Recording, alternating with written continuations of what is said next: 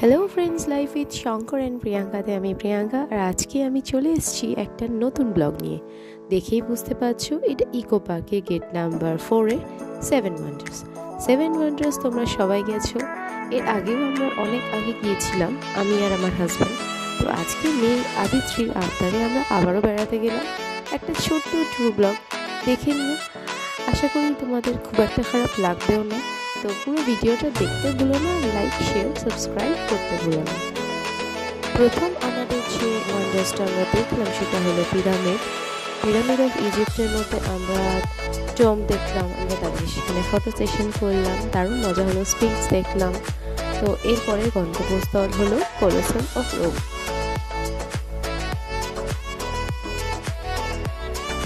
Roman সভ্যতার কথা আমরা আগেও জানিয়েছি তাদের আর্কিটেকচার তাদের সমস্ত কিছুই বেশ দেখবার মতো। তো এই কলোসাম অফ রোম আর অ্যাম্পি থিয়েটার এটা কিন্তু একটা গুরুত্বপূর্ণ স্ট্রাকচার ছিল রোমান কালচারে তো সেখানে আমরা গেলাম আর দারুণ মজা করলাম। আদিত্রিও বেশ হাইড অ্যান্ড খেলছিল এখানে ঢুকে ঢুকে। আমাদের দারুণ টাইম পাস হচ্ছে।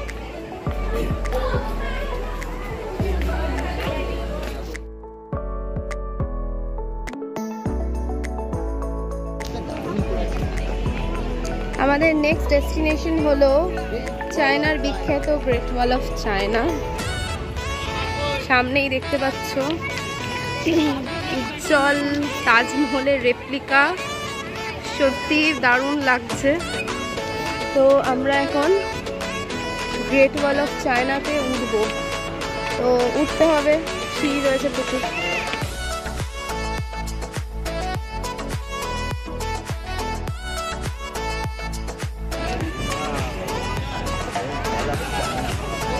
তো গ্রেট ওয়াল অফ চায়না তো বিশাল।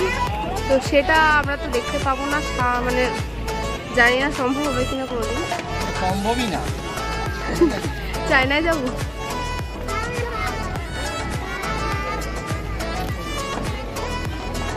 এখন প্রায় সন্ধে হয়েছে সাড়ে ছটা বাজতে যায় বোধ তো এখন বেশ ভালোই লাগছে চারিদিকে লাইট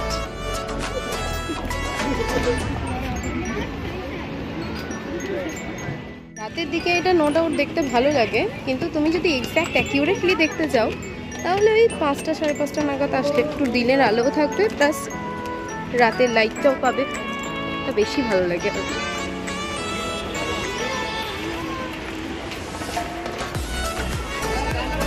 যতগুলোই ওয়ান্ডার্স দেখি না কেন তাজমহলটা সত্যি একটা ডায়মন্ডের মতো জল। চারিদিকে বাচ্চাদের দেখা দেওয়ার মতো লোভনীয় জিনিসপত্র।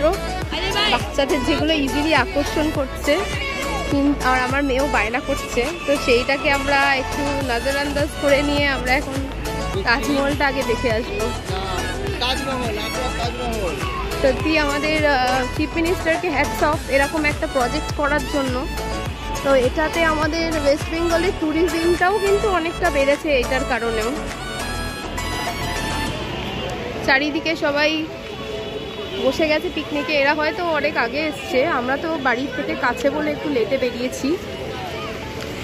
সবাই ফটো সেশনও করছে।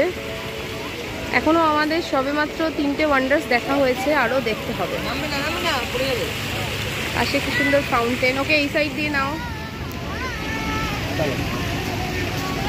দারুণ লাগছে।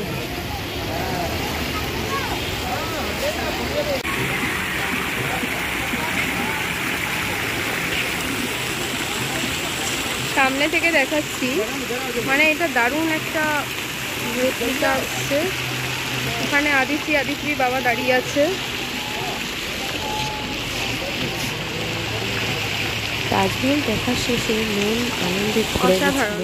তো এরপরের ওয়ান্ডার হলো চিলির ইস্টার আইল্যান্ডে থাকা মোয়াইয়ের স্ট্যাচুগুলো এখানে প্রচুর মোয়াইয়ের স্ট্যাচু রয়েছে খুব সুন্দর লাগছে দেখতে আদিত্রি তো বেশ মজা করছে এগুলোর সামনে দাঁড়িয়ে দাঁড়িয়ে ফটো তুলে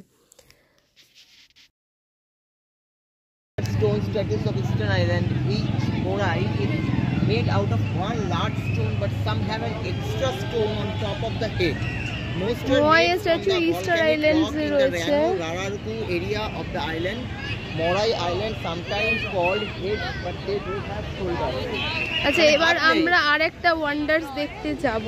আগে ওইটা চলো ওইটা চলো সব বলো।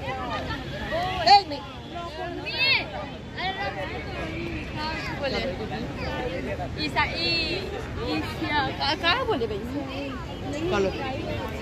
এ কি চলো আমরা খাব। কি খাব চল কি খাব চল। এই এই এই এই, মাটাকে দেখো কি হয়েছে।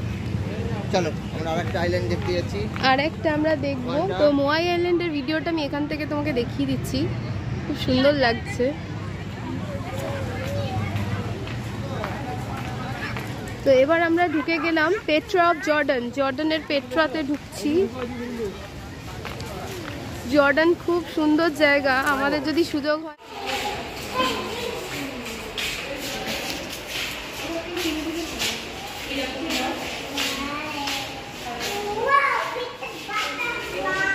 তো আমরা জর্ডানের পেট্রা দেখার পর এবারে ব্রাজিলের ক্রাইস্ট দা রিডিমারকে দেখতে যাব। তো আদিত্য বড়ই অধৈর্য ওর খেলনা দেখলেই ওর খেলনা চাই। তো আমরা জিজাসকে দেখতে যাব। করে আছে ওখানে গিয়ে ফটো